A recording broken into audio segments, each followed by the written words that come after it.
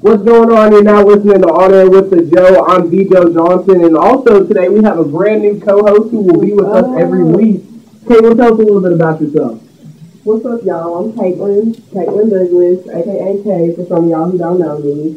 Um, I'm a nursing major. I'm a sophomore, and Jo invited me on the show, so let's see how everything goes. We're gonna have a lot of fun having Caitlin here. She's a great, um, she's a great addition to the show. She's also an SAD and SGA as well, correct? I'm just an SGA, Just an SGA. I do attend the SAD. That's what it is. She's very involved in campus, so she's a great person to have in the studio with us. We're going to talk a little bit about the Drake album that officially dropped today, which is September 24th. He told us all to just wait on it, but everybody seemed to have got the album last week. We're going to give our side of what we feel like happened with it, and I'm going to tell you a little bit what Drake told Billboard.com. So, coming up for you first, we're going to listen to Club Can't Handle Me by Flo Rida. You're listening to On Air with the Jo. I'm the Jo Johnson, hanging out with Caitlin today. Hey. She's, she's our new member on On Air with the Jo, 91.7 The Demon. Today is September 24th, the much awaited day. Guess what happened today? Drake's album officially dropped today, but everybody seemed to have the tracks last week. Caitlin, your thoughts? I feel like people were talking about this when he came out with Versace and he hit that little verse about I'm coming out with my OVO, something like that. It already leaked. I had friends, shout out to G, at G. Marie for uh, telling me about that. Yeah. Matter of fact, Kyla was the one that told me that it actually Yeah. had leaked. So then I went on, so I, I use this app called 8tracks. 8tracks.com is a wonderful app if anybody ever wants to get off of Pandora because it always plays the same 12 songs every time you open the app. I got on the 8track search for Nothing Was the Same, and I had all 16 tracks, which I looked on uh, Billboard.com today. The album got great reviews. They said that Drake really came into his own on this on this album. And if you haven't got, have you heard it yet?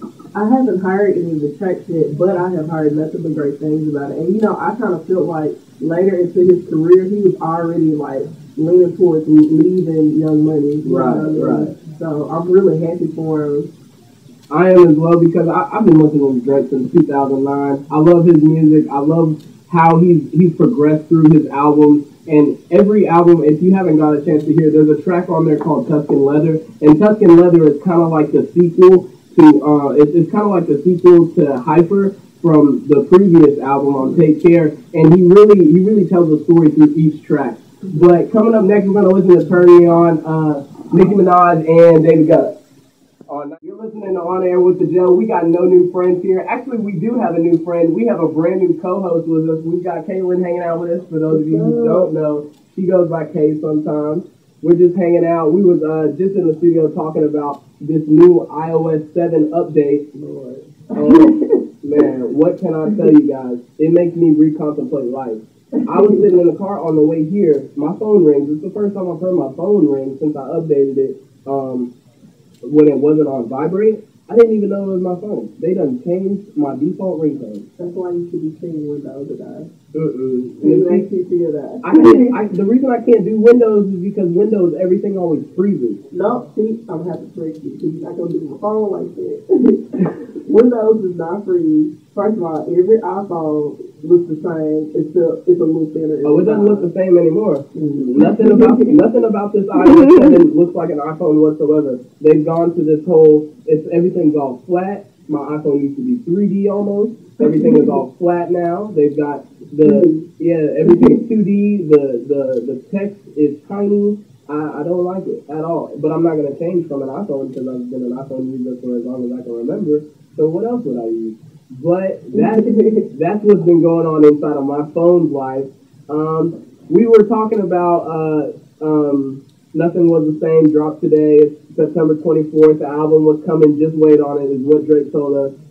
Unfortunately, it leaked last week. How do you think that affected the sales uh, as far as how many people actually went out and purchased it today? See, I don't think it really is gonna affect it because me personally, I've been a Drake fan since he was Jimmy on the Degrassi. so I'm Drake or die. I'm hashtag Team Drake or die. Okay, you can quote me on that. I just I feel like if, if anything, it helped boost his sales up because people are anticipating it, and it's like they got a little preview. Now I want the real thing. Right, right.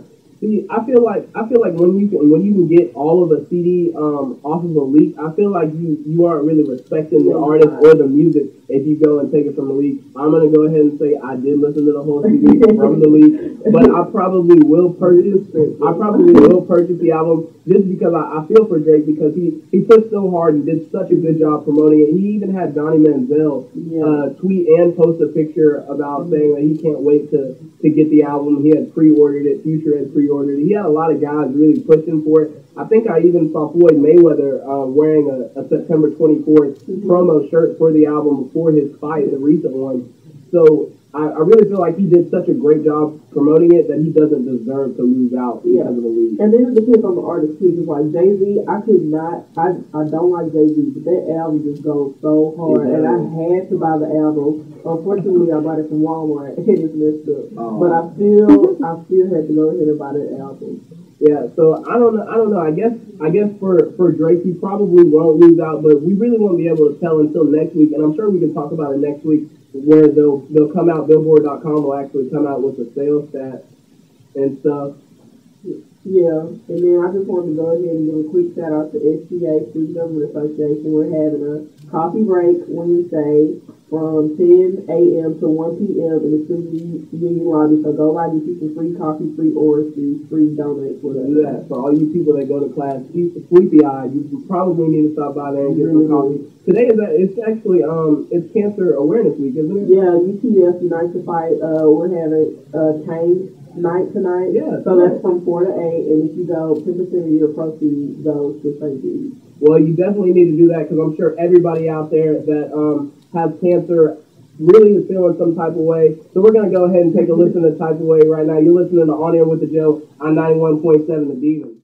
What's going on? You've been hanging out with On Air with the Jo. I'm the Jo Johnson. Added our new co-host today. My new co-host is wonderful. Had a great time with her in the studio today. Yes, yes.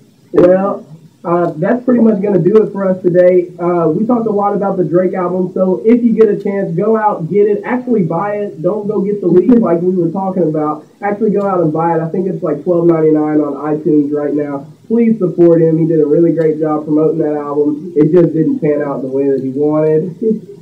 So that's all that uh, I have. The video of the actual in the studio live show of this will be on thejojohnson.com, so you can check that out. Follow me on Instagram at thejojohnson.